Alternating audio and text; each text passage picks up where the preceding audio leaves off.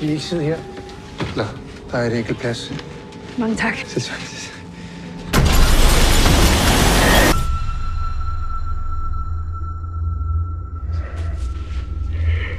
Det er bare fordi, at jeg savner en. Ja. Markus Hansen.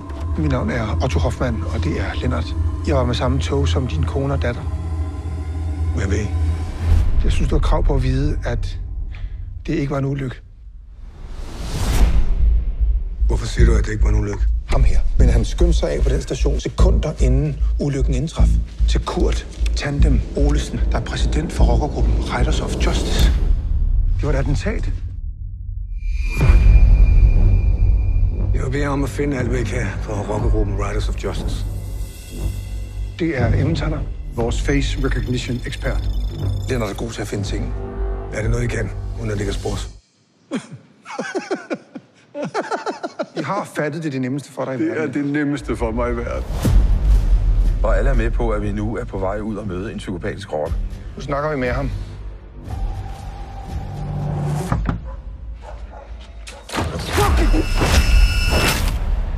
Har du slået nogen ihjel før?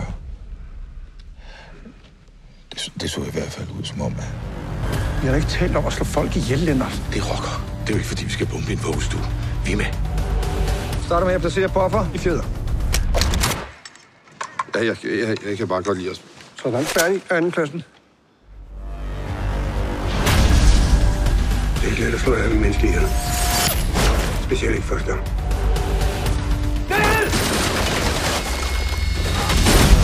De ved, hvem I er, og det kommer ikke til at stoppe, medmindre vi dræber dem først. Hvad der sker for?